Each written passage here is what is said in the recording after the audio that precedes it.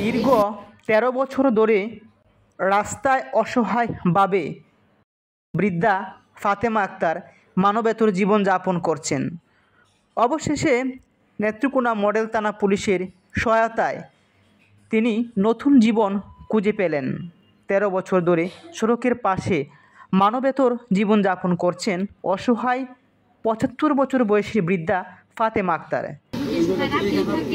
কোনো কাপড় চোপড় ব্যবহার করে না এইভাবে। ইনি বৃষ্টিতে বসে থাকে শুয়ে থাকে এইভাবে পথচারীদের দেওয়া কাবার ও অর্থে বেঁচে আছেন ফাতেমা।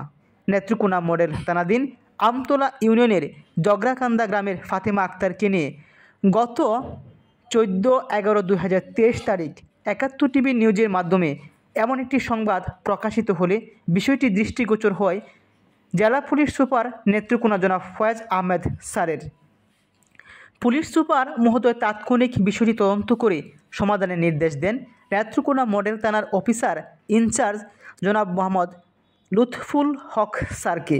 অফিসার্স ইনচার্জ মহোদয় পাঁচ নং Amtala union beat officer Mohammad Suel রানাকে তদন্তের নির্দেশ দিলে তদন্তকালে জানা যায়, পঁচাত্তর বছর বয়সী বৃদ্ধা ফাতেমা আক্তারের বাড়ি উপজেলার রাই রাওরা গ্রামে। ছোটোবেলায় মাকে হারানোর পর সৎ মায়ের কাছে জায়গা হয়নি পাতেমা এবং তার বোনের। মানুষের বাড়ি বাড়ি কাজ করে জীবন চালাতো তাদের। কিছুদিন পর ছোট বোনকে জগরাকান্দা গ্রামে বিয়ে দিয়ে তিনিও সেখানে থেকে যান। একসময় তার বোন জামাই সহ অন্য আত্মীয়রা ফাতেমার কাছে টাকা দাঁড়া নেয়। আর পাওনা টাকা চাইলেই দিয়েছে বাবা তারা আমার বিয়ে টিয়া দিছে টিয়া কই গেছে? কই গেছে যে টিয়া দিছে না দিছে? এ সুমন মেম্বার আমার হাসাই না টিয়া দিছে। তো বিয়ে দিছে ওগুলো টিয়া দিতেছে। একবার দিন আমার সাড়ে তিন হাজার টিয়া দিয়েছে কয়েকবার মাস আজকে দুপুরে খাওয়া দাওয়া হয়েছে দুয়ার মনে গেল আমারে বলছিল আমি মনে গেল কথাটা। কাল্লা দুয়ারের আগে বাদ খাইছি আপনাকে দুয়ারের আগে বাদ খাইছি মারধর করত পাওনাদার যাকে টাকা দাঁড় দিয়েছে। যার সংবাদ প্রকাশিত হয়, পরবর্তীতে বিভিন্ন জনদের কাছ থেকে তেষট্টি হাজার টাকা উদ্ধার করা হয়। গত ছয় এ ডিসেম্বর নেত্রকোনা মডেল থানার সুযোগ্য অফিসার ইনচার্জ জনাব মোহাম্মদ লুৎফুল হক স্যার ঘটনাস্থলে গিয়ে অসহায় বৃদ্ধা ফাতিমা আক্তারের নিকট উদ্ধারকৃত তেষট্টি হাজার টাকা বুঝিয়ে দেন। টাকা হস্তান্তরের সময় উপস্থিত ছিলেন স্বাবলম্বী সংস্থার সংস্থার টাকা হস্তান্তরের সময় উপস্থিত ছিলেন স্বাবলম্বী সংস্থার কোহিনুর আক্তার এবং একাত্তর টিভির প্রতিনিধি সুব্রত সাহা সুমন।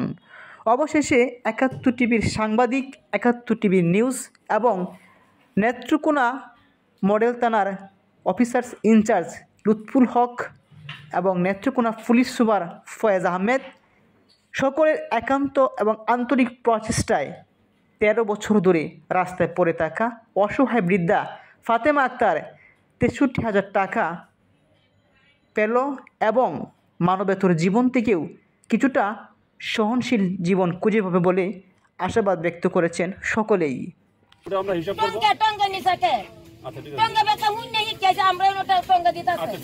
আমরা